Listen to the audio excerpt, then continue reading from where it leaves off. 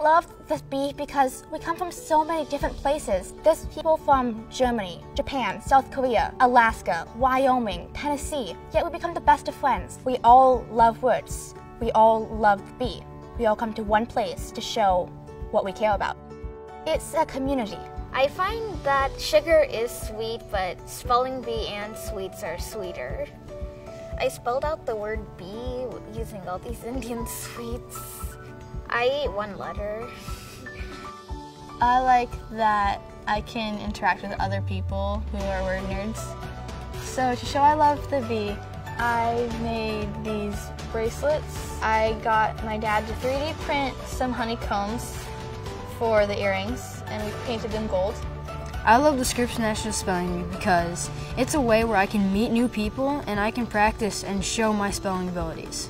So I wrote out Scripps 2019 in lacrosse balls to showcase my love for the Scripps National Spelling Bee.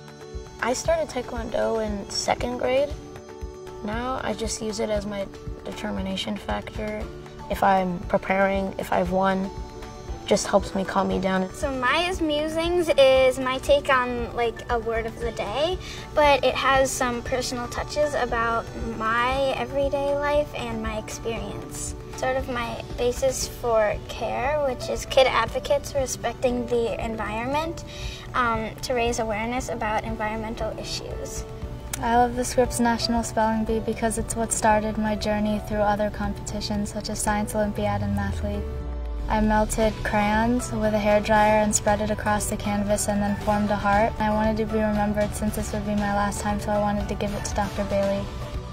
I've always grown up watching the National Spelling Bee and I've always wanted to be those people on the stage. I was one of the Scripps RSVBee people. I've always loved baking. I fundraised the money by making cookies that look like spelling bees. I love the Scripps National Spelling Bee because learning the words gives me a chance to improve my vocabulary and I get to meet a lot of new people here.